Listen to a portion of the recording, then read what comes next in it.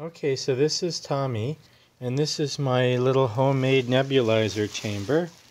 Um, so I've got like a, a, plastic bag, and this is uh, sort of a breeder cage, right? So I put the plastic bag over that, right? And here is a little uh, nebulizer that I bought off of Amazon, and it's got a mixture of um, uh, as.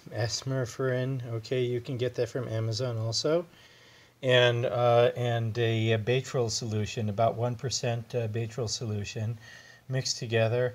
Um, and uh, okay, so now I just uh, push this button, and the mist will start. Starts green, it'll turn blue. Mist is coming out. Then I close it up. Okay. Yeah and uh, it's basically good enough for government work. All right, now he's getting the uh, aerosol. So basically, this is kind of a triple threat because uh, what's going on here is he's in a nice, see that's a heating pad, so it's warm in there. He's got some uh, nice uh, mist going on in there to kind of uh, loosen up his lung secretions. Um, this stuff here uh, effectively opens up his airways, and then the Baytril solution, so that basically causes the Baytril to penetrate deep into his, uh, you know, his airways. Um, and uh, obviously, we're also giving him Baytril orally as well, and uh, doxycycline. Um, and so this this is actually so he, basically, the bacteria is getting hit from it, um, you know, with the Baytril and, and the antibiotics from both sides, from from from the inside, you know, through his lung tissue, and from the outside.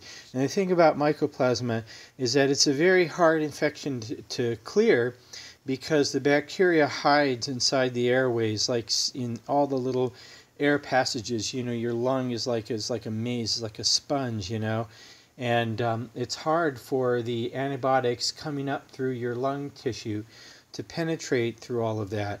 So this is just another way that we can get the antibiotics there to the bacteria where it can do some good.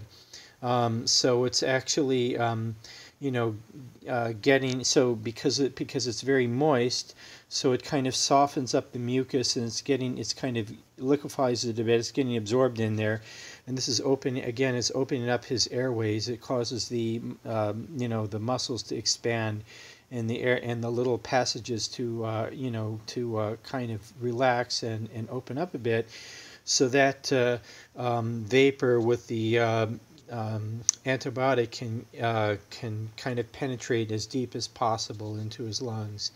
Um, and um, I actually started doing this uh, yesterday several times a day. I mean, he was like goner. He was really in bad shape. We thought he was going to die. And we literally he was at the point where we couldn't uh, actually give him uh, any more, um, you know, oral antibiotics. He was even having trouble taking any liquids because he was choking. So, kind of as a last resort, I'm I'm like, well, let me see if there's any research um, of you know people giving antibiotics, uh, you know, like through an aerosol, because we already had this nebulizer that we're using anyway to you know to help him breathe. I'm like, is there any way that I can give him antibiotics the same way? And um, it turns out that um, that fluoroqui- I think it's called fluoroquinolines. Uh, so basically, um, uh, ciprofloxacin is already being researched uh, in cystic fibrosis patients and also rats too, um, you know, delivered uh, through aerosol. Um, so it's a it's a very fine aerosol powder, but you know this is I mean it's effectively the same idea. It's um, I you know hopefully it's it seems to be working. Um, so Baytril is is of the same family, and it's Century Cipro it's uh, but uh, Cipro actually gets converted to to uh, uh, I forget what the uh, chemical name for Baytril is in the in the body. It's probably passed through the liver or something, and we take it orally, and then it gets converted. So this this is essentially what was being researched, and so here we go. Um, uh, I started giving it to him yesterday, and I, I'm telling you, he was not eating, he wasn't drinking, he was literally on death's door. This rat this morning was eating again. I left the food in there. I had no hope that he would eat it. He had actually eaten his food. I gave him two more uh, of, of his uh, rat chow. He ate all of it. Okay, I'm able to give him, um, you know, antibiotics and stuff, liquids orally now. He's running around. He didn't look so good because he's sleepy. I mean, it's during the day. He's a nocturnal animal. He even tried to bite me a little bit. You know, I mean, I'm not happy he tried to bite me. Okay, so you can, I don't know if you can hear this, but the hissing has stopped. So, um, so this thing runs for about five minutes.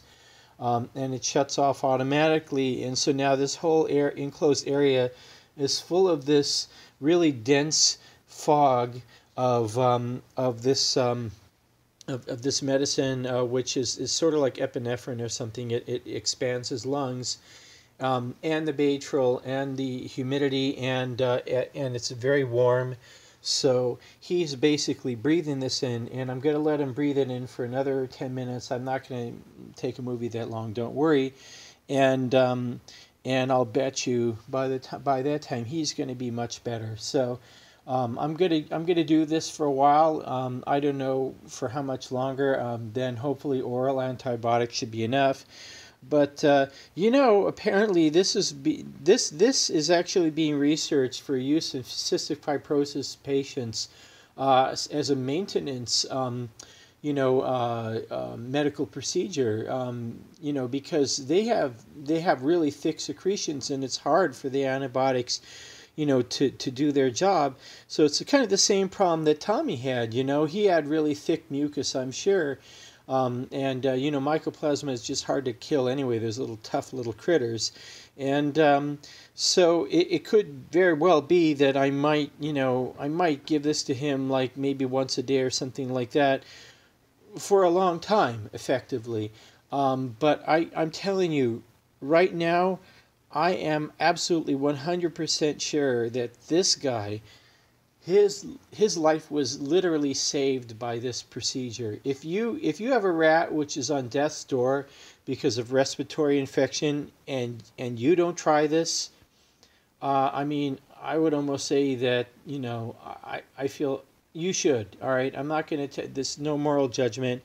Go on Amazon. I'll put all the information in the body of this post go on Amazon and you can buy everything you need except for the Baytril, which you're going to have to buy through eBay, eBay online because you know how it is. It's it's a prescription medicine, and you can get a big jar of this stuff. it's gonna it's it's going to be enough to last you a long time. 99% pure. Uh, this stuff it just works great. So okay, um, that's all I have to say right now. Uh, thanks for watching. Bye.